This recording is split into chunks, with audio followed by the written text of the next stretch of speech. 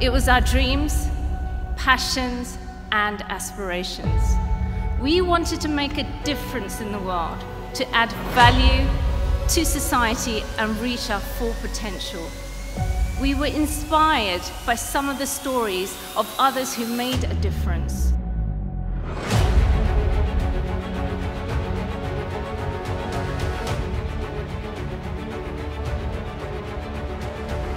And I stand here before you today feeling proud and deeply grateful for this moment.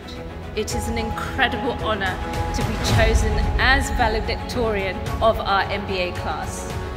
I want to express my sincerest appreciation to our professors, staff and mentors who have guided us through this challenging journey.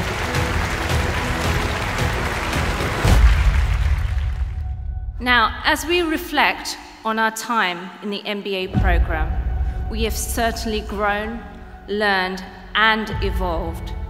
Not only have we gained knowledge and skills in business and management, but we have developed our characters and principles as future leaders. We have experienced successes, failures, joys and pains, but we have persevered and thrive thanks to our resilience, courage and determination. My children, Sophie and Aaron, who are sat in the audience over there, they are my inspiration.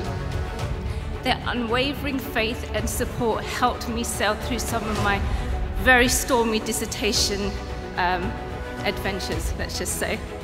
Thank you, my darlings. Mummy did it. This MBA is for you. Let us continue to express gratitude to ourselves and others as we move forward. Let us use our expertise to make a positive impact in the world, no matter where we go or what we do.